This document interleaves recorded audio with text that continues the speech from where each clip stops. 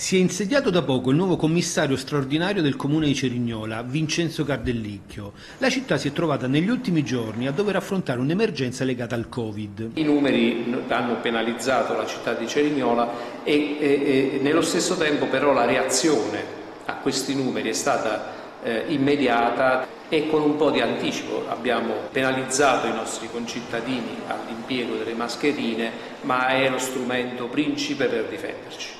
Il Comitato Provinciale per l'Ordine e la Sicurezza, svoltosi eccezionalmente a Cerignola, ha ribadito lo sforzo dello Stato nel contrasto alla criminalità organizzata e l'attenzione non solo alla quotidianità. Anche ad episodi di una gravità inaudita eh, eh, che non possono essere archiviati come soliti, eh, come già vissuti, ma che devono allarmare ogni volta che accadono. Cardellicchio si dice ottimista anche sulle capacità di risposta delle realtà produttive alle infiltrazioni mafiose.